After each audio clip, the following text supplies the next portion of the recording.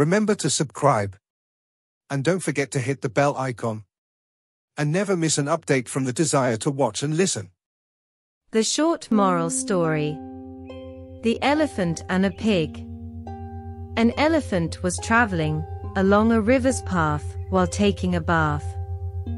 It saw a pig completely covered in dirty mud.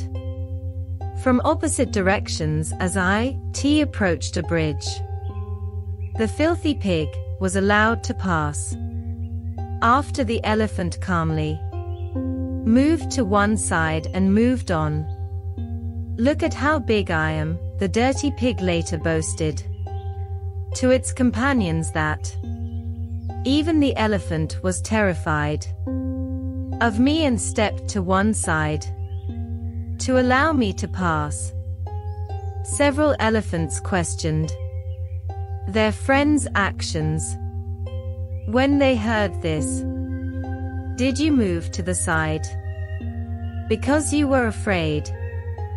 The elephant said, I could have easily crushed the pig beneath my leg. But I was clean, and the pig was quite dirty. Additionally, if I had crushed it, my leg would have become muddy, which I wanted to avoid. As a consequence, I left.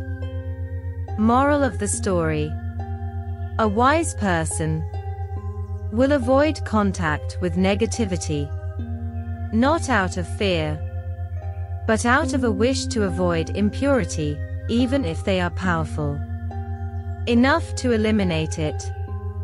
We do not need to react to every opposing viewpoint, every word, or every scenario. Thanks for watching. Like, subscribe, and share.